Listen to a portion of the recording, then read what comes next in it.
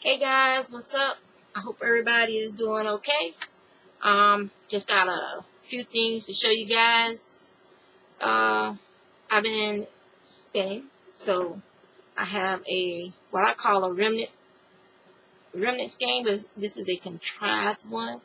Um, it's where I just started spinning using wool and alpaca. Um, different colors, like I have the black, some black alpaca, some brown alpaca. This gray is um, is uh, Jacob, and then there's some white wool. That's a Corriedale mix in there. Um, I'm gonna make a hat, a hat with this um, when I after I apply it. So I finished that bobbin today, and then I'm almost finished with this bobbin, which I started the other day. And this is just alpaca on this bobbin, different shades of brown. Um, and I'm doing like a dark brown now. So that's what's on this bobbin. And my grandbaby, she is in North Carolina, which is why I'm able to spin more because I don't have to worry about, you know, keeping the environment super safe for her. Um, so I can't spin when she's here. I can't use my needle punches when she's here in here with me. So the other thing I'm working on is I have I have too many fleeces and too much fiber. But I don't have fleeces. All my fiber except for two two and some small like some small like three ounce bags just like samples um to spin from the lock. All of that all my fiber has been um, processed.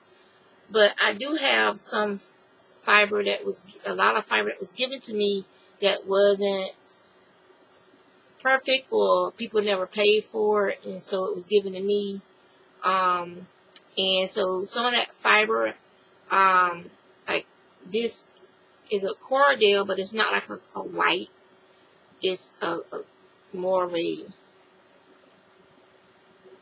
yellowish color is is so it's not something that it won't it probably wouldn't take dye well.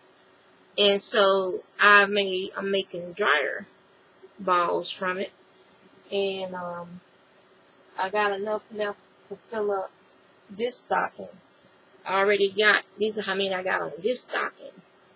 So tomorrow the laundry I'll be throwing that in the whites and um, I'll finish this up tonight so I can throw it in the whites when we do laundry. Um, now, that skein of Malabrigo Rasta that I've had for several years, I finally made something with it. I made this bulky hat. And it has this tassel. I wanted to use every piece of this, of the yarn that I could. And it feels so freaking good. Oh my God, I love love, love, love to have a sweater made out of this. That would be a, an expensive endeavor. So I had two flowers that I made, puff stitch flowers that I made. And then it's got like the little three strings hanging down. And then I did the tassel with what was left. I only had like a little piece by that long left. And it just feels so good. I'm very proud of this hat. It's uh, three rows of ribbing and then I get a purl bump. Then I don't know how many rows is between, just random purl bumps, and then just three rows, and then purl bumps, and um, three or four rows. I'm not sure. I wasn't counting. I just wanted to use as much of yarn as possible before I got to my decreases, and I was just very happy with how this turned out. So what I want to do is I want to do another one in worsted weight yarn and actually pay attention to what I'm doing and count um, so that'll be easier for me to duplicate. So I'm real happy with how this hat turned out. And then I made some more squares. Um, working on some purple squares. This is Red Heart yarn. It was an ombre. I threw the tag away because uh, B ripped it. So I was like, I'm throwing this away since she's not here. And it's um, different shades of purple one of those games. I got I got this when we were in North Carolina um, for my mom's funeral. I bought this skein. And um, I actually made a V-stitch scarf from this yarn. And because we weren't, we didn't, we didn't know if the slip would be high enough up. Because it had a lace panel on the front of the slip. But we weren't sure But my mom was very, very busty. I mean, very, very busty. And, she, and even though she had lost a lot of weight because she was sick, she still handled the bad boys. So, um, but the slip covered it, and the scarf was ended up being really pretty, and the lady wanted to use it, so she took and she it was a circle scarf, and it was gonna like hang here, and it had like a, a butterfly brooch that was purple because purple was my mom's color, and um, the lady took and since my mom's hands were like this, she placed it over my mom's hands and put the butterfly right on the top of her hands. So her hands were had the scarf on it, and everybody loved it. Um, that saw it, and um, and I was fussing at my mom because I told her I wasn't gonna make her nothing else, and then I ended up having to man end up making something for her for her funeral. Um, so it's been a year, and I'm starting to tear up it's, it's, you know, you lose your mama, you lose your mama. So, but, um, so yeah, so I'm doing the purple. This is going to be for bees, uh, blanket. I still haven't gotten my, I know, you know, because of the, the, the COVID, everything is slowed down. So I'm not sure when I'm going to get my yarn order in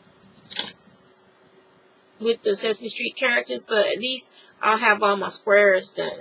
Now with her, each of these squares, I have to put a border around them. And so I'm just doing all the squares first, and then I have to decide what color to use for the border. Excuse me.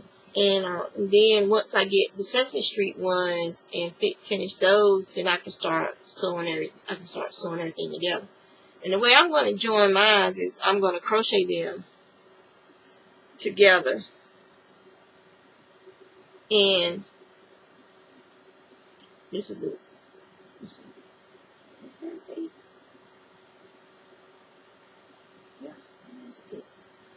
I'm not sure what happened there. Yes, both of has eight. My tension must have changed or the yarn changed. Um, same size. So, so I'm gonna sew mine together. The way I'm gonna sew mine together is the inside, the inside loops. I don't know if you guys be able to see that. But I always go through the inside loops because it, it, makes it look nice and even rather than sewing it like using the whip stitch and stuff. And so when you open it up, it'll, it'll almost look like you put a stitch down between the, the blanket. Um, yeah. So I'm almost finished with this one. I just, this is the eighth round. The eighth. I guess it just say the eighth round. Minus the, the beginning round.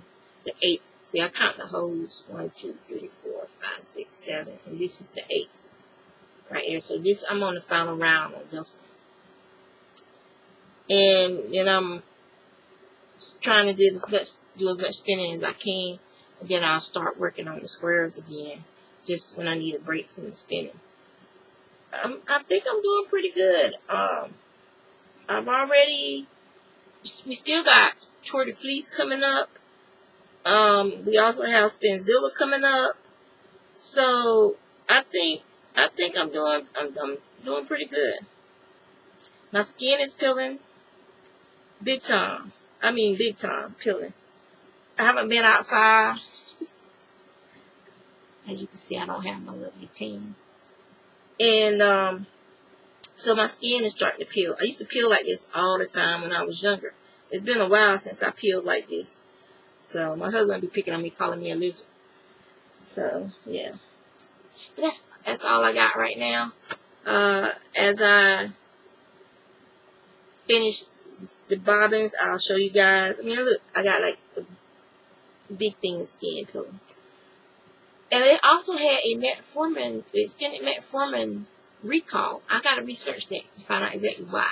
All they said was bring all your metformin extended release in. We're going to replace it with the regular metformin. Regular metformin, I can't keep it down. As soon as I take the pill, within 15 minutes, I'm puking my guts out. For 15 to 20 minutes, I'm dry heaving. Uh, my body does not tolerate the metformin well. The extended release, I was doing a lot better with the extended release. Like the first couple of days I took it, I was nauseous, but I kept it down. And then now I'm at the point where it doesn't bother me. So, so yeah, so I got to find out why they're doing the recall. Was it contaminated? Was it not effective as they thought it would be? Or were people dying from taking it because it wasn't doing well? I don't, I don't know. I don't know. So I'm gonna let you guys go. As you can see, my dreads, they're, they're, they're growing. It's not as short as it was.